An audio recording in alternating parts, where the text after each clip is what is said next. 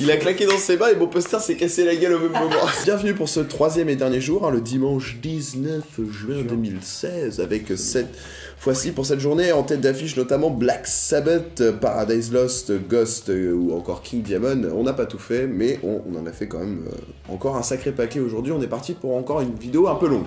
On vous le cache pas. Peut-être un peu plus courte que les deux précédentes. Il y a malgré tout certains groupes qu'on a, on a décidé de supprimer parce qu'on n'avait pas trop gardé de, de souvenirs euh, vraiment marquants. Et on- bon, comme on dit chez nous, si c'est pas marquant, C'est que c'est pas bon, c'est mauvais. non, c'est pas mauvais, mais voilà, bon. Bah ça nous a pas marqué, ça a Ça pas trop d'intérêt qu'on vous en parle en fait. hein. Si on vous dit bof. Voilà, donc on va passer directement sur le deuxième slot horaire hein, parce qu'on aurait pu vous parler de Stone Birds, mais bon, voilà, c'était un petit, un petit concert sympathique, mais c'était pas, c'était pas la, la folie. Alors le, le groupe suivant, donc on avait Ravenai, euh, Hegemon, euh, oui parce que j'ai une très mauvaise vision, Hegemon et Alea Jacques ta gueule. Donc moi j'ai été sur euh, la Warzone pour euh, commencer euh, la journée avec une grosse paire de couilles, donc Alea Jacques Taes, hein, du gros beatdown de Toulouse. Bon, Toulouse, mon gars. de Toulouse, Toulousains qui font du. Et est-ce qu'ils font de la saucisse Non, mais en tout cas ils envoient la purée.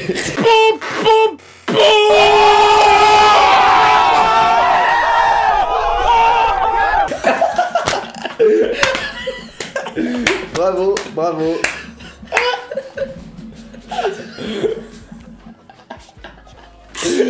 Parfait. Bon, Elle était drôle. Bon, non, bon alors voilà. plus, plus sérieusement, pour ceux qui ont voulu aller à, aller à Jacques euh, donc euh, moi, enfin moi en tout cas personnellement j'ai beaucoup aimé.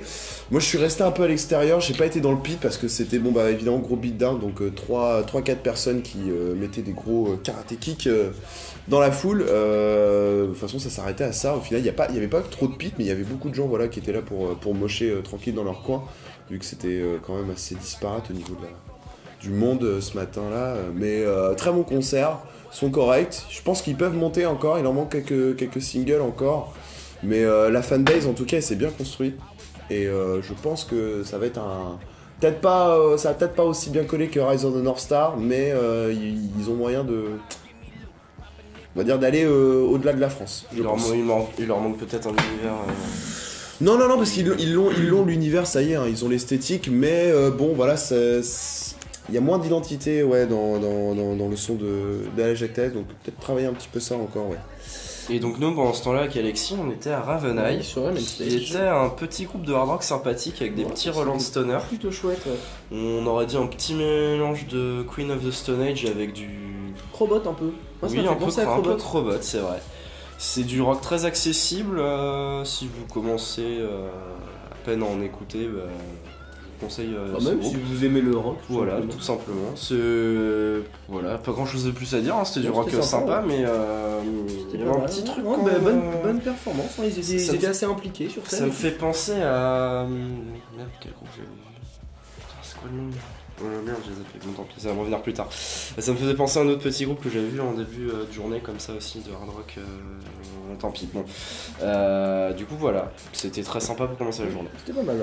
Donc ensuite, euh, il y avait euh, Aggressor, Nightmare, le Shows Gaze, on a été voir les Shows Gaze, mais on n'a pas de souvenir, donc on va pas trop s'attarder. Bah, Euh, c'était bizarre en fait. C'était très très étrange. Mm. Le, le chanteur a une façon très bizarre de chanter. En fait, c'est du stoner avec vraiment un son par- à part, Mm. mais Ouais. c'est pas non plus un truc qui se démarque énormément. Ouais, c'est bizarre. euh, À réécouter, je pense, parce qu'on était pas Voilà. trop dedans, on était Mm. un peu loin et on était pas, pas à fond dedans, mais c'est- assez étrange. Ouais. Par contre, il y a quelque chose sur lequel vous étiez à fond, c'est bien le concert d'après. Et puisque, oui, et oui, il y avait oui, monsieur. Municipal Waste sur la main scène, et je pense que c'est Oh, finalement des trois jours, c'était, on va dire, le groupe genre qui commençait plus tôt et qui, qui méritait peut-être Ah pas oui, d'être aussitôt. non. Je ouais, pense. mais en même temps, ça, ça, les a, ça leur a bien servi, je trouve, parce que du coup, il y avait pas beaucoup de monde devant les médecins, il y avait que des gens motivés, et du coup, il y avait un pit monstrueux. Il y avait Donc, pas, à il y avait pas de gens West, qui passaient On rappelle, il y avait Alexis et il y avait toi aussi, Maxime. Moi, j'ai Euh, pas déjà, Municipal Waste, euh, ce qu'il faut savoir, c'est que pour. euh, ils avaient une demi-heure de set, ils ont joué 40 minutes. Et ils auraient pu jouer plus, parce Ils qu'ils auraient ont pu pas jouer joué leur chanson la plus connue. Quand ils ont voulu la commencer, on leur a fait signe que bon, backstage, Et en plus de ça, fait, pendant non, stop. 40 minutes, Circle Pit sans arrêt. Mais quand Vraiment. je dis sans arrêt, c'est même pendant deux mor- entre deux morceaux, Les gens quand le continuaient chanteur de ça continuait à tourner. Mais ça n'a s'arrêté jamais. Mon chanteur c'est- parlait, tu veux dire. Hein Quand t'as dit quand le chanteur chantait, tu veux dire Oui, quand le chanteur parlait, pardon. Quand je chantais. Et euh, Et le chanteur chantait. bravo. Un truc qui Oh, belle référence. Ça Et- faisait you up. Bah, nous, du coup, voilà, ils ont pas joué Du cette coup, chanson. C'était la grosse fiesta. Ah ouais, c'était vraiment la grosse fête. c'était un, un pit euh, hyper, euh, hy- hyper sympa. Enfin, c'est- tout le monde avait le sourire, c'était vraiment cool. Et c'était un peu violent quand même, mais, Un peu violent, mais, mais violent sympa quoi. Et puis avec des petits. Des petites. euh, Qu'est-ce que je veux dire? Des petits tacles à Donald Trump aussi. Bah, des petits tacles, ils a- leur fond de scène c'était un énorme drapeau avec Donald Donald Trump Trump. qui se tire une balle dans la tête. C'est un- pas un petit tacle, je pense.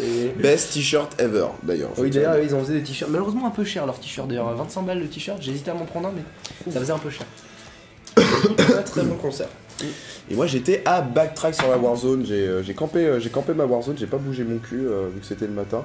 J'étais voir backtrack euh, donc euh, qui fait du euh, qui fait un peu le, le hardcore de la nouvelle génération, euh, vachement quand même mélodique et euh, vachement euh, Vraiment, c'est l'inverse du Municipal Waste. Quoi. Municipal Waste, c'est entre du trash et du hardcore bien à Ouais, c'est ça. Ah oui, là on était sur, bah, sur la les- stage, c'était euh, ancien opposés. et, euh, et backtrack, voilà, c'est c'est du petit hardcore bien sympa. Bon, euh, une petite, euh, petite esthétique quand même assez, assez raffinée, mais euh, c'était euh, c'était un bon concert. surtout Zero Rules qui, qui défonce, en- qui déboîte en live. Là, elle a aussi déboîté, mais ça manquait de monde et du coup, ça manquait de gens dans le pit. Ouais, Euh, tous. Bah, il y avait beaucoup plus les de gens gens. qui pitaient. Il y avait beaucoup plus de gens à Jacques Taès qu'à Backtrack, euh, ce qui prouve que bon, le, enfin tout ce qui est scène française au Hellfest, euh, ça, ça suit, mais par contre, euh, Les euh, petits groupes dans le même bah, style, bah, qui les sont- petits groupes dans le même style, bah, bon, Qui sont d'autres pays, sont peut-être pas. bah aller à Jacques c'est pas la même chose que Backtrack, mais Backtrack ça reste quand même du hardcore, voilà, qui passe bien dans les oreilles, c'est- pas gênant, mais il y avait moins de monde qu'à à Jacques alors que c'était beaucoup plus tôt. Mais ça a resté quand même un petit concert sympa, le son était correct et voilà, c'était un, bon moment. Alors après, il y avait Orphaned Land, Fallujah et Def Alley, on vous en parlera pas. Je crois qu'il y avait rien. On n'a rien à aller Ouais, voir. Euh, À la base, je voulais aller voir des soleils, mais trop fatigué, je crois. Si, bah si, on euh, s'est placé pour le groupe d'après en fait. Ah on oui, est resté oui. sur la, Oui, sur la exact. Warzone. On est resté sur la Warzone pour se placer pour un autre groupe qu'on vous a présenté euh, dans notre émission, c'était Town Style, Et euh, avant de Town Style. Avant de présenter euh, une petite dédicace à tous les abonnés qu'on a croisés là-bas, on a dû en croiser 3-4 euh, qui nous ont reconnus, c'est c'est sympa. N'hésitez pas à venir nous voir. qu'on se sente célèbre. Non, du tout, non, c'est Ça lui donne de l'importance euh, dans sa vie. C'est sympa d'échanger, c'est tout. Non, c'est vrai, ça, nous- ça nous fait plaisir. Surtout de savoir s'il y a des groupes que, qui, euh, que vous connaissez pas dans nos vidéos et qui vous ont plu et que vous avez été voir au Hellfest. N'hésitez pas à nous en parler. euh, N'hésitez pas à le dire dans les commentaires d'ailleurs s'il y a des groupes euh, dont on a réussi à, à vous motiver euh, pour aller voir euh, sur scène. Et du coup, bah, nous on a été voir Turnstile évidemment parce qu'on vous l'a vendu euh, dans nos vidéos et que moi j'avais grand espoir pour Turnstile. Moi, c'est pareil, je. Grand espoir et comme Crobot, bon, un, un peu désappointé. Euh, Toi avait- aussi Bon, non, toi, t'avais bah, kiffé. j'avais, j'avais kiffé, mais c'est vrai que bon, le, le- moi, de façon, les concerts de hardcore avec la séparation entre la scène et la foule, j'en parlais déjà l'année dernière, ça me gêne toujours. Et Turnstile, je trouve c'est plus un petit groupe de, de petites salles, mais bon, après, hein, évidemment, on, on fait avec les moyens du bord. Et le set était, euh, était cool, ils ont joué un peu de, de tout, hein, ils ont joué euh, les anciens albums, ils ont joué le. Merci Alexis. Oups, désolé pour le bruit que vous allez entendre, que vous venez d'entendre dans le micro. pas fait Donc ils ont joué de leur EP, ils ont joué de leur, euh, de leur, de leur album qui était sorti bah, du coup euh, l'année dernière, 2015 ou 2016 Non, début 2016 il est sorti je crois. Non, Non, 2015. Début 2015. Fin 2015.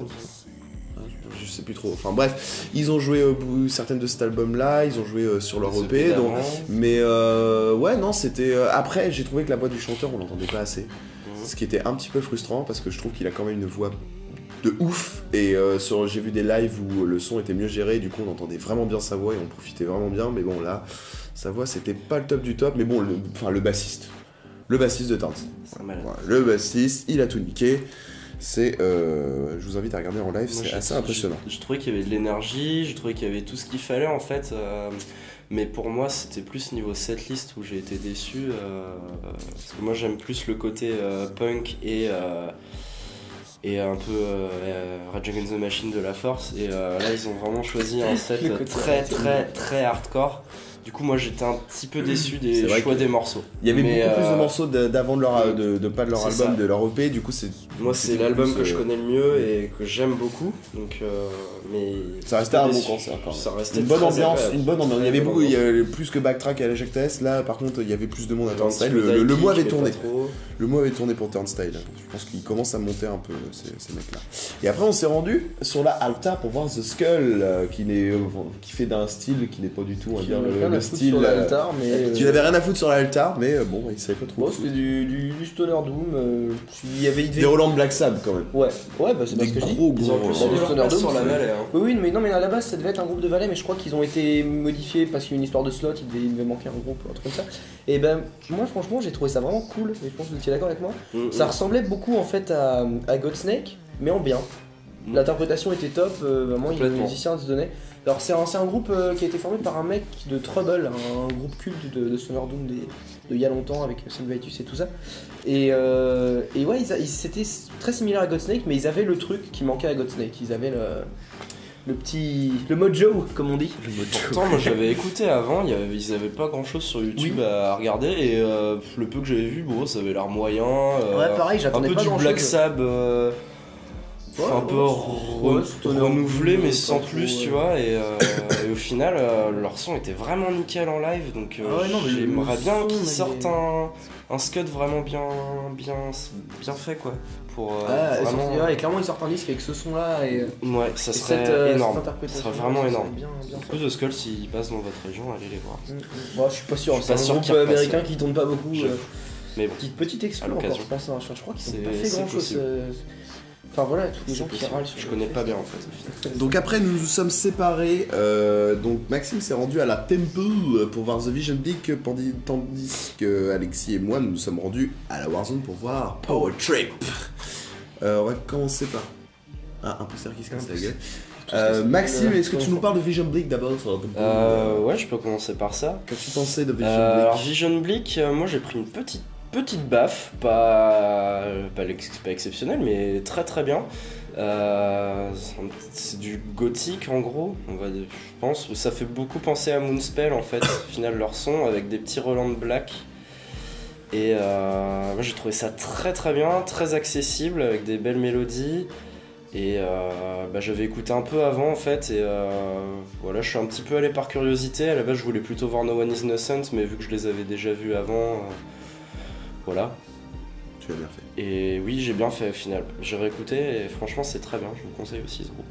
Voilà. Et nous on était à Power Trip. Bah, Ouais. Power Trip, tu veux nous en parler? Ouais. Toi tu as beaucoup apprécié. Moi j'ai beaucoup- bah- apprécié, mais tu as beaucoup apprécié Power Trip. Ouais, bah Power Trip c'est c'est du crossover, mais c'est l'exact opposé de Municipal Waste. C'est-à-dire que c'est pas du tout Mais gentil. c'est un crossover violent quand même. C'est pas. Mais ouais, en fait, c'est le, même- c'est le même mélange, c'est les mêmes ingrédients, c'est du, du vieux hardcore mélangé avec du vieux trash. Sauf que là où Municipal Waste c'est très fun et très. Très il y joyeux a un- quelque part. il y a un petit côté moderne aussi dans Municipal West. Ouais, mais c'est pas plus. C'est quand même un style un peu qui fait dater, même Mmh. s'ils ont une prod euh, actuelle. C'est un, style qui, qui est rattaché à, un- à une époque, on va dire. Et, euh, et Power Trip, c'est pas du tout gentil, c'est c'est pas du tout joyeux, c'est très violent, c'est.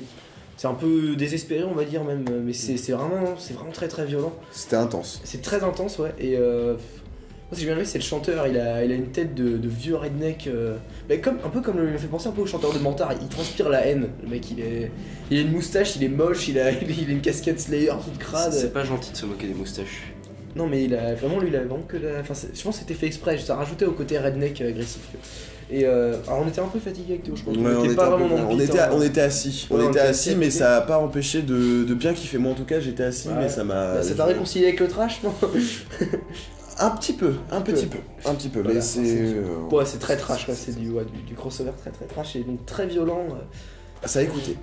Eh, écoutez, ouais, c'est vraiment agressif comme ça. Donc ensuite, euh, il y avait Tarja, Brodequin et Unsane, mais on n'a pas été. J'ai vu vite fait Insane, mais pas beaucoup de pas souvenirs. beaucoup de souvenirs. On a vu vite fait et c'était très drôle.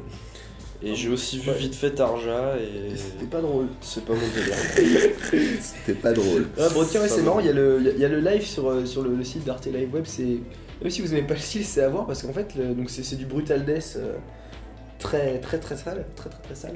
Et en fait, le, le batteur, il a eu un accident il y a quelques années ou un truc comme ça, du coup, il joue plus de batterie, il joue sur un pad.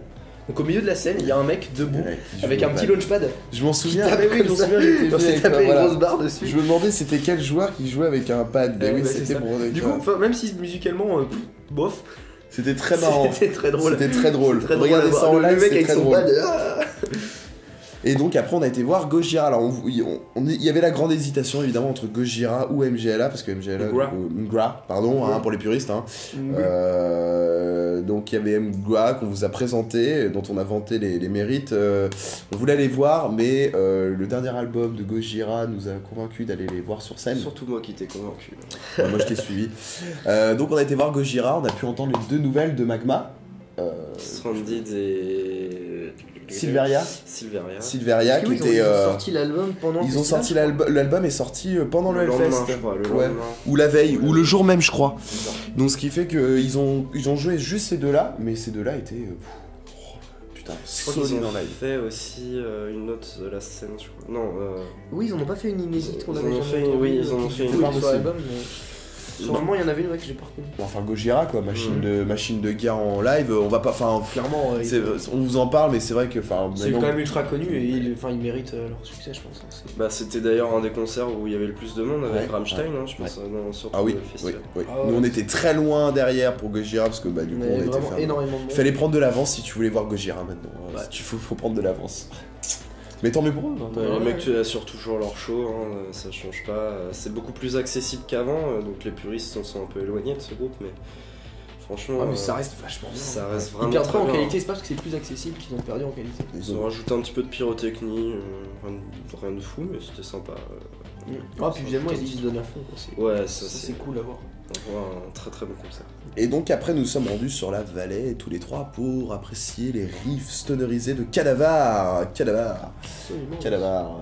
Qui alors Ouais. Cadavar, moi qui- enfin Cadavar. Cadavar, je les avais vus l'année dernière euh, à Rock en scène, c'était vachement sympa.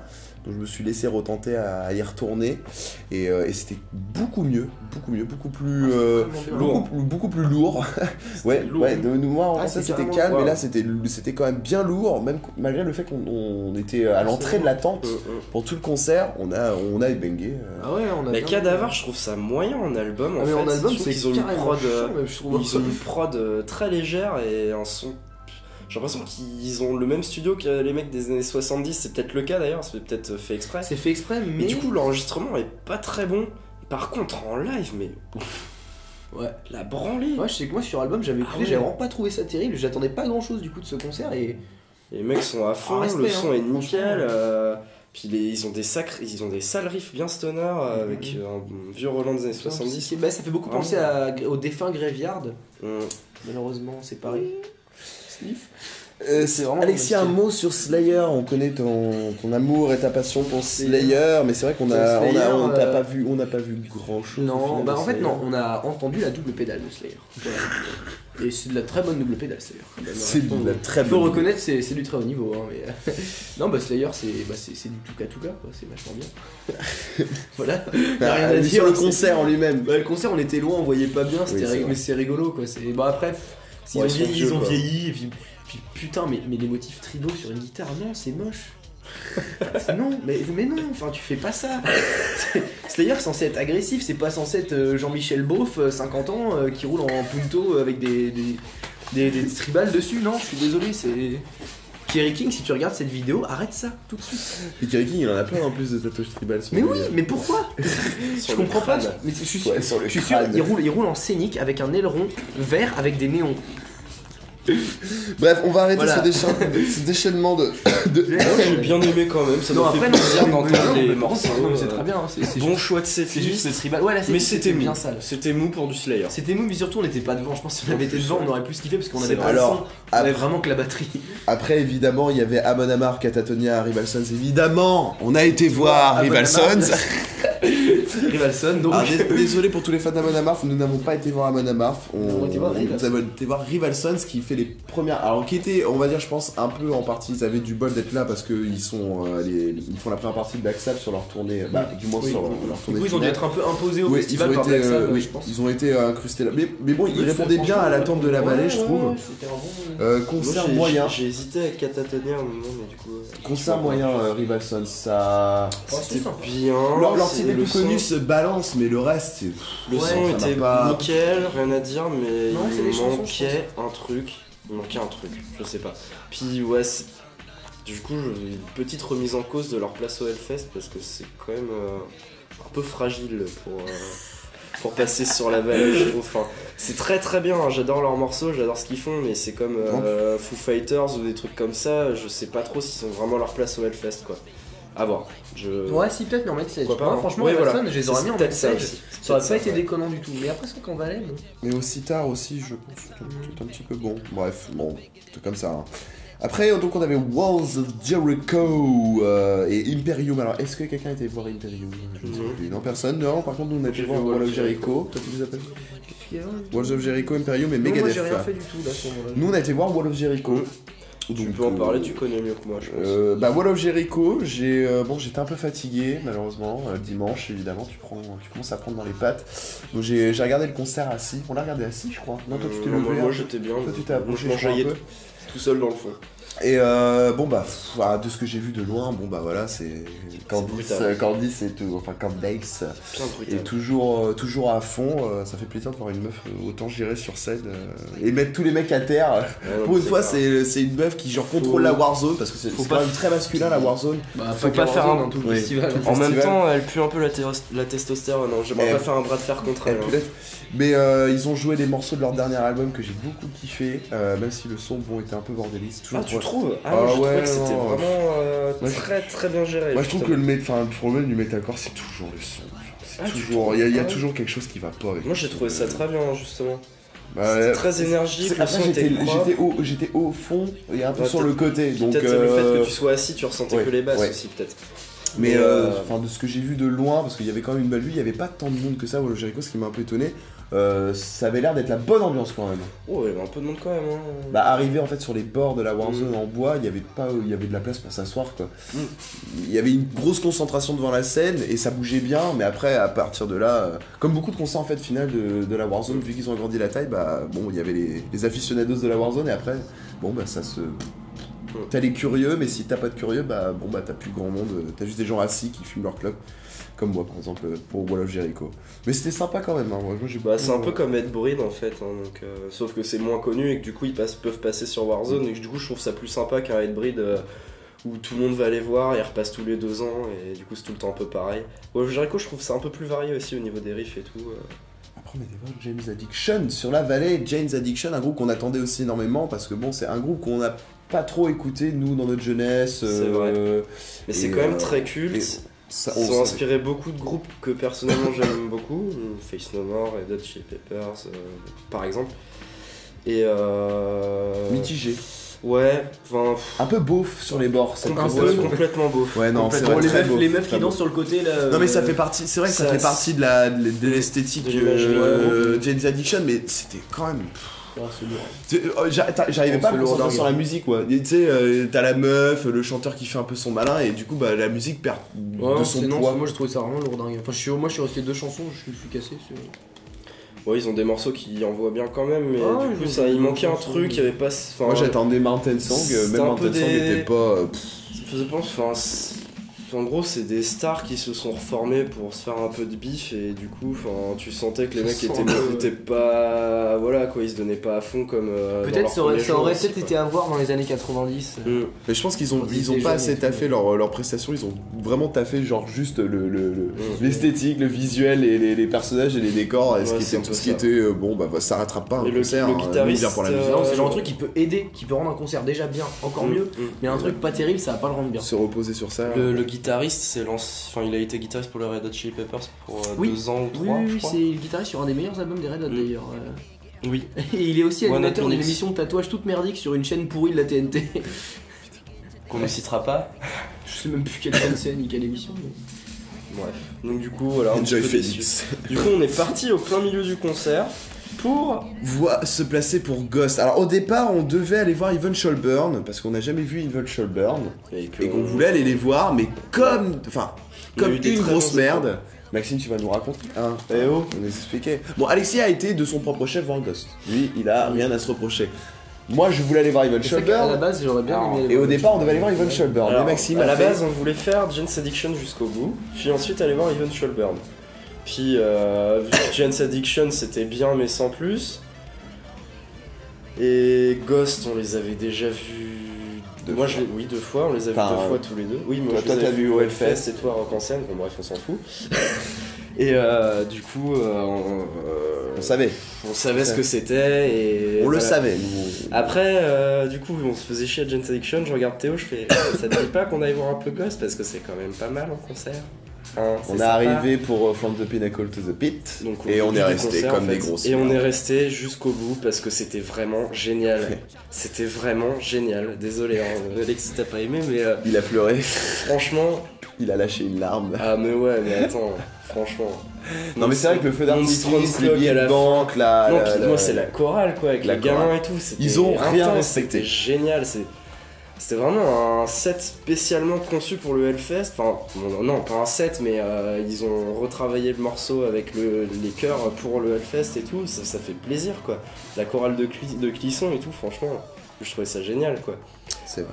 Plus un peu de pyrotechnie, euh, feu d'artifice à la fin. Enfin, on les avait déjà vus avant, donc on savait à quoi s'attendre. Mais là, il y avait ça en plus, et du coup, bah, on est resté jusqu'au bout parce que Très belle prestation. très belle prestation. Enfin, moi, j'ai adoré en tout cas. Et c'est incroyable le, le- le- la hype qu'ils ont en ce moment. c'est- Ah oui, bah là, c'est- monstrueux. Jamais. Enfin, En même temps, ils sont hyper actifs, ils tournent tout le temps, ils sortent euh, Pourtant, c'est 12 bateau. par an. je pense que pour un, pour un mec qui aime pas, c'est- je trouve ça bateau. Justement, bah, je vous laisse terminer et vous donnerai mon gros Bah, en même temps, c'est produit par Dave Grohl, euh, donc euh, voilà, Foo Fighters c'est pareil, c'est du truc bateau, et on ressent euh, depuis, qu'il a produit leur EP que Ghost c'est mainstreamisé entre guillemets, euh, en, faisant, en ayant une prod euh, bah, irréprochable, et euh, voilà, c'est peut-être ce côté propre que tu aimes pas, Alexis, je pense en Bah, général. non, c'est pas ça. Mais, bah, je... Non, mais terminé. Puis je Mais vais- euh, bah, c'est vrai qu'après, voilà, euh, des compos très simples mais qui fonctionnent bien avec un univers euh, très travaillé. euh, Enfin, Non, puis ça- moi je trouve ça fait plaisir enfin d'avoir un groupe qui rassemble un peu tout le monde Ouais. parce que Et qui- mais à chaque fois qu'il y a un groupe qui commence à monter il y a toujours des gens automatiquement qui se placent contre machin et euh, Ouais, c'est a bien d'avoir un groupe qui, qui, qui réunit un peu euh, même si Ghost je suis pas sûr que ça soit à la fin de sa carrière genre tête d'affiche euh, de festoche ça va être c'est déjà un gros et ça sera encore plus gros. Ah, puis ils sont hyper actifs, ils ont sorti un, un al- l'album, il est sorti quand cette année ou l'année dernière? L'année dernière année? l'année dernière non l'année dernière Sorti l'année l'année dernière. dernière je crois Ils ont sorti un album l'année dernière, ils ont sorti un EP. EP récemment, ils ressortent un album l'année prochaine, ils arrêtent pas les mecs quoi, ils tournent en plus. En euh, même temps, ils ont temps. compris que en ce moment leur, leur sauce Mm. marchait bien, mais combien de temps elle va marcher, ça c'est une question. Je sais pas, mais en tout cas, ils sont bien partis pour aller loin. Mais Alexis lui n'a pas aimé parce que donc du coup on a deux personnes qui ont apprécié le concert, mais on a une personne qui n'a pas aimé Ben le moi concert. non, en fait je- moi je Ghost je connaissais vraiment très très peu, vraiment même je connaissais pas du tout on va dire. Je connaissais parce qu'il y a énormément de hype autour et que ça avait l'air plutôt cool, je veux dire visuellement bah ils ont un univers qui est, enfin voilà je connaissais que visuellement en fait. L'univers avait l'air vraiment chouette et tout et on m'avait vendu ça comme un truc voilà un peu bah du vieux, du vieux heavy, un peu Black Sabbath mais avec un son plus moderne, une voix et tout. Enfin en tout cas sur le papier ça me tentait bien et du coup bah je me suis bien placé, euh, j'ai subi la dernière chanson de Megadeth pour pouvoir être bien placé pour voir Ghost. Et bah du coup visuellement effectivement euh, waouh, enfin c'est c'est hyper pro. Mais c'est même trop pro quoi, c'est et le problème c'est que bah, c'est rien ce que je disais tout à l'heure, euh, je trouve que le visuel ça peut rendre un truc bien encore mieux, ça peut permettre de se démarquer. On peut pas se reposer que là-dessus. Ah faut aimer les musiques à la base. Et euh, voilà, c'est ça. Le problème, c'est que moi, j'ai pas aimé la musique à la base. Alors pourtant, j'a- j'adore le vieux heavy. J'ai. Alors peut-être que là, je vais faire le puriste un peu connard, mais j'adore des trucs très accessibles aussi. C'est pas parce que c'est accessible que j'ai pas aimé, euh, au contraire. Mais euh, bah, je sais pas, j'ai trouvé qu'il manquait un truc. quoi. Les, les chansons, elles sont pas ouf. C'est du du heavy pas très inspiré. J'ai l'impression que s'ils étaient apparus dans les années 80, bah, ils, auraient, euh, ils auraient eu aucun succès. Et, et je pense qu'ils ont. Ils ont du succès surtout pour leur visuel, euh, qui est très cool en soi, mais que bah, les chansons derrière, elles sont pas. Enfin, moi en tout cas, ça me par- ça m'a pas parlé. Hmm. Bah, Enfin, ouais, voilà, leur musique me parle pas. Ouais, je comprends. Je passe peut-être à côté de quelque chose, mais. euh, Bah, moi je sais que je les ai découverts au Hellfest 2013, Euh, je connaissais pas du tout, je voulais voir Danzig et au final ils avaient échangé, du coup euh, c'était Ghost qui s'était retrouvé sur la main stage. Et euh, bah, j'avais trouvé ça bien mais sans plus au final, enfin à part Monstrous Clock euh, qui m'a mis une baffe tout de suite, mais à part ça le, reste des morceaux j'avais pas aimé plus que ça en fait.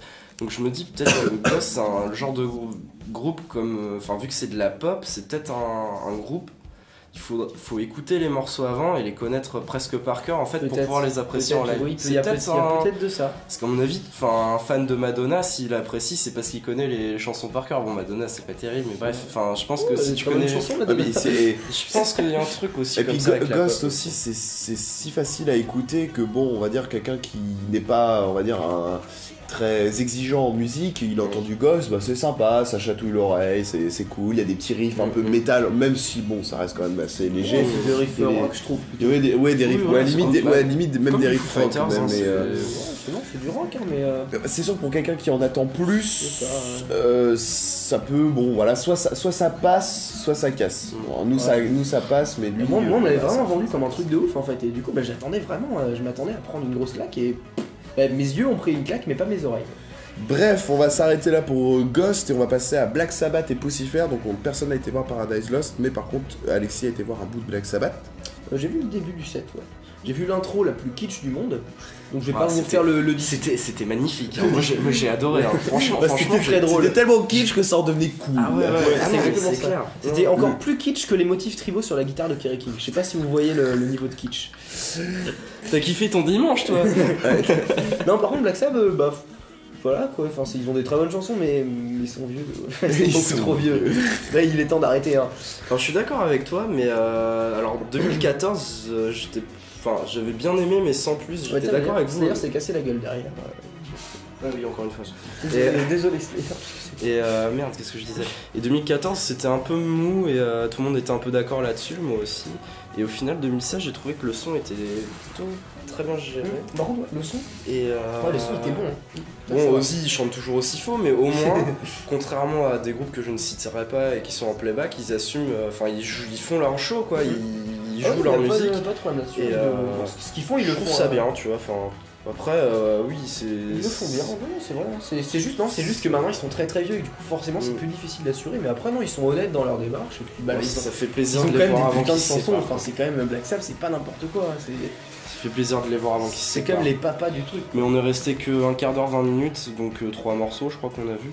Et on est parti. Il ne reste plus que deux vallée. groupes à présenter. Donc le premier c'est Pucifer sur la vallée. Donc c'était en même temps que Black Sabbath. Donc à savoir qu'il y avait euh, donc Enslaved, Nigel Shelburne et ensuite Paradise Lost, Pucifer et du coup, comme tu l'as dit, on s'est rendu vers Pucifer sur la vallée. Moi j'ai longtemps hésité entre Paradise Lost et Pucifer parce que bah, Paradise je suis un gros fan. Mais. Alors les euh, fans de Tool, on est content, on a vu Ménard, c'est bon. nous Attends, tu, Oui. tu me casses, je suis en train de parler. Oui, non, Ah. Donc je disais quoi? Je recommence. Merci Théo. Du running order. Euh, donc euh, je voulais voir, euh, je savais pas trop quoi voir entre Paradise Paradise Lost et Pucifer. Mais, donc du coup je voulais voir Paradise Lost à la base. Sauf que euh, bah, j'ai vu qu'ils jouaient euh, un de leurs vieux albums euh, gothiques en intégralité et que c'est un album que j'apprécie pas plus que ça. Moi je préfère leur période gothique donc je suis allé voir. Euh, c'est un groupe que je connaissais pas trop mais euh, ça avait l'air euh, sympa vite fait de le loin. chanteur de. Et avec le- Monsieur Ménard James Killen. Ouais, c'est même si on le sait pas. Quand même. Ils ont fait toute leur com là-dessus. Quand même. C'est parti de là. En même temps, on sent bien qu'il y a sa patte. euh, Mais Bah, c'est- non mais très, franchement, très marqué. franchement c'était très très bien. C'est vraiment un trou du J'ai cul. hein. trouvé ça Il- génial. Ouais. Il vient avec, il vient en Europe avec Pucifer, mais il refuse de venir avec Tool en Europe. C'est, c'est- je trouve ça. Enfin, Est-ce qu'il refuse ou. Ça se trouve c'est pas lui, hein, c'est le guitariste ou c'est le batteur, Ouais. on sait pas. hein. je sais pas, ils ont peur de l'Europe, ils ont, ils ont peur. De... Mais il y a eu un moment où ils avaient plus le visa ou je sais pas quoi, il y a eu un, un problème comme ça, hein, un moment. Enfin Après, là, bon, enfin là. après, maintenant, oui, c'est vrai que voilà, ils, ils se foutent un peu de la gueule de leurs fans, mais je pense que ça les fait, cuisine. ça les fait plus marrer qu'autre chose, puis les gens continuent d'acheter les albums donc ils vont pas s'arrêter. Mais le concert, Maxime, en lui-même, il y avait des catcheurs, il y avait du catch. Donc pour en, revenir, pour en revenir au mouton, si on arrête de me couper, Parce qu'après, il s'est. Non mais c'est parce que tu galères là, dis-le que c'était bien. J'étais en train de le dire. C'était vachement Et donc c'était vachement bien, mélange de, bah, donc de l'univers un peu de Tool euh, de James Maynard, euh, bah, Perfect Circle aussi, avec de la de l'électro trip hop entre guillemets, et euh, du coup des morceaux très planants. très, plan- très planants que perso j'ai pas accroché quand j'ai écouté avant d'aller les voir. Ouais, pareil, sur album c'est sympa, mais sans plus, mais en live c'était. Et une fois, euh, une fois les avoir vus en live, j'ai pris une grosse branlée et, euh, et euh, je me rappelle plus des noms des morceaux, mais euh, il y en a quelques-uns qui me sont restés en tête, j'ai réécouté et franchement, moi, je trouve ça très très bien. Il faut écouter Ah ouais, au casque, il faut vraiment pas- passer du temps à écouter, c'est assez particulier quand même euh, comme musique. Et euh, bah, tu peux nous parler de la scène, tiens Théo, c'est le seul truc qui t'a marqué du concert.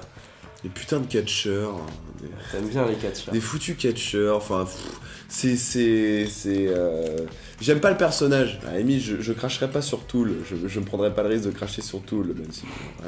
Mais là, euh, j'ai l'impression, ouais, ce, ce concert, il y avait juste les curieux de bon, bah on peut pas voir Tool, donc on va voir Poussifer.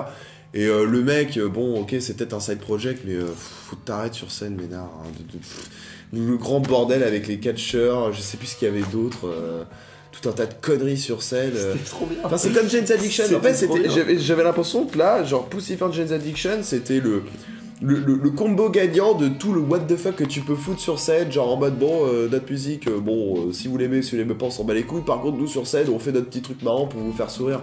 Moi, désolé, j'ai, j'ai pas accroché.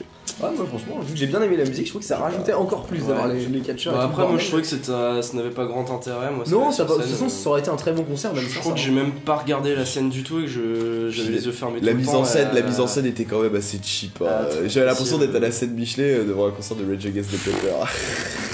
Oh là là, mais. les vieilles cordes, les, les meufs avec les pancartes, enfin bref. Bon. Ils ont quand même bien plus la classe. hein. Donc le dernier concert, pour clôturer cette journée, C'est Alexis qui va Sébastien nous en sur la parler. Warzone. C'est, Alexis qui va nous en parler. Ouais. si vous voulez. Bah, c'était je Refuse. pense qu'on a tous envie de dire notre petit mot. Refused. C'était génial, mais moi j'étais trop fatigué, du coup je me suis endormi. Pardon. Pardon, Refuse. Bah, toi tu veux dire quelque chose sur Refuse? Je te laisse. je te laisse faire. Bah moi c'était mon meilleur concert. Alors Fu Manchu, le- la journée d'avant, avait mis la barre très très très très très très très très très haute. Mais euh, Refuse de... Ils ont atteint leur niveau et ils les ont dépassés de peu parce que bon bah j'ai plus de T'as plus, plus d'affinité. plus avec euh, avec Pour moi, c'est l'inverse. Ouais, ça, voilà. ça dépend de ce qu'on aime aussi. Mais, Mais, mais euh, franchement, euh.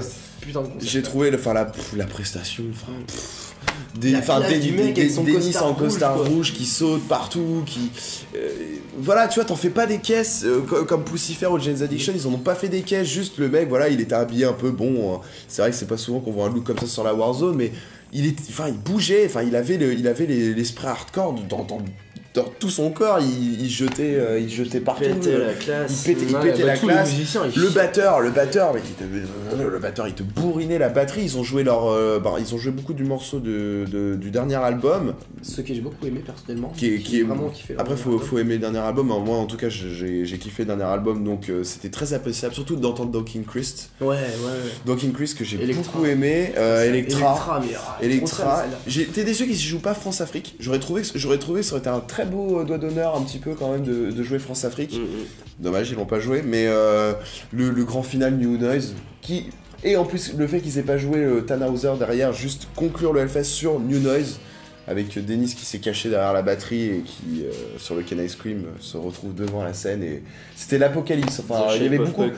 Énorme. euh, C'était, euh, il y avait beaucoup de, enfin, je m'en souviens, c'est qu'il y avait beaucoup de lumière, euh, bon bah des, des grands projets blancs et beaucoup de clignotis. Du coup, j'avais vraiment l'impression que c'était l'apocalypse devant moi, comme à Fu Manchu, c'était, l'apocalypse. On, on voyait plus les visages, on voyait juste des corps se rentrer dedans. Et puis bon, bah, je suis sorti du concert pour fumer une clope un peu à l'extérieur parce qu'il y avait pas beaucoup de monde, ce qui m'a quand même choqué.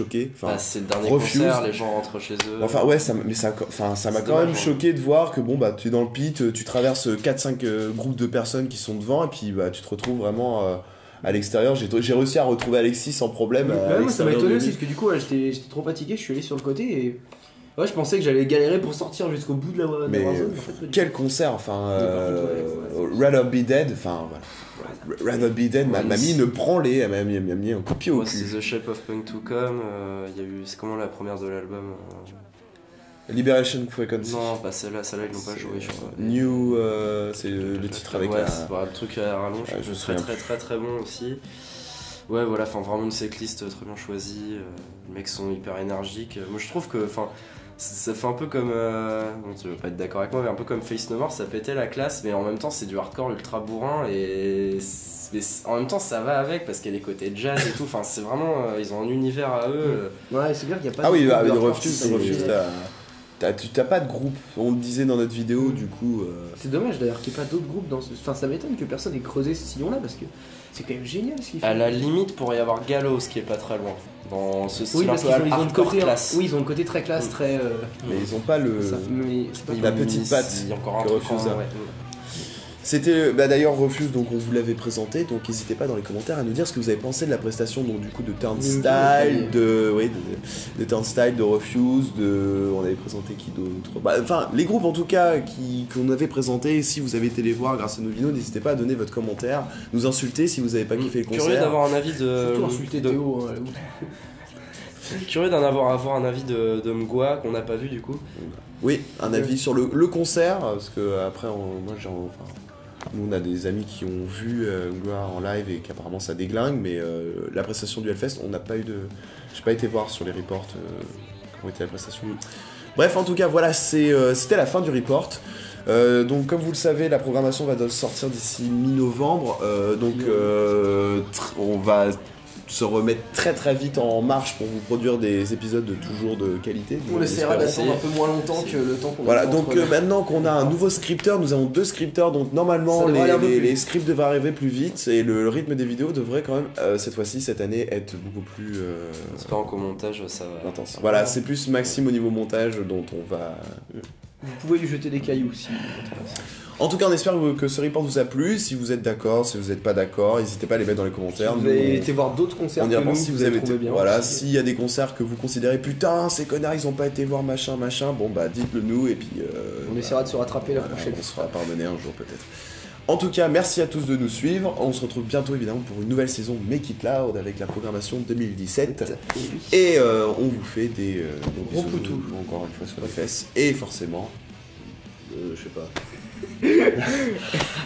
Vive le rock and roll. Enfin, Maxime, t'avais un, un job quoi. One job on me. Salut à tous. je me casse.